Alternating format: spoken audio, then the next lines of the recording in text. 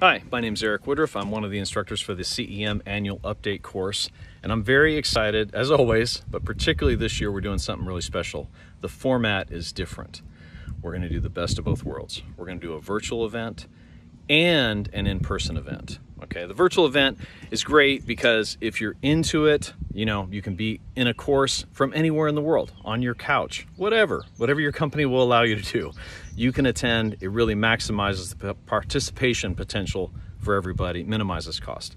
You get all that content for two days. And then a week later at the World AEE World event, we're going to have a special, I can't say what it is yet, but it's going to be a special in person opportunity to get some other questions answered and do some in-person networking. And what information are we going to be talking about? You can read about that in the agenda, but some, here's something right behind me. These are solar panels I just put on my house, okay? And I've done this in businesses too. It doesn't matter whether it's residential or business.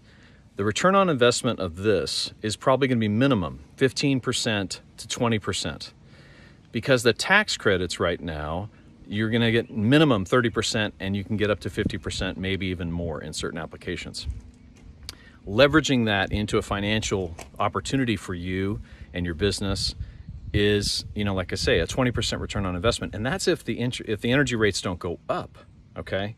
Where in the stock market can you find a 20% return per year for 25 years in a row? I challenge you to find that.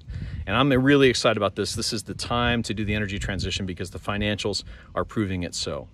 Other topics we're going to talk about, I'll just tell one other one, is ChatGPT. AI. We're going to cover that in the annual update because I think you need to know about that stuff. You need to know about the tax incentives, you need to know about the AI to make yourself more effective as a CEM going forward. But anyway, this is Dr. Woodroof. I just want to say thank you. I'm excited about these panels and they're already generating more than my house uses. And that can be true for your business and it can be true from a great investment standpoint. So please join us. We'd love to interact with you at the annual update this year and I hope you have a great day.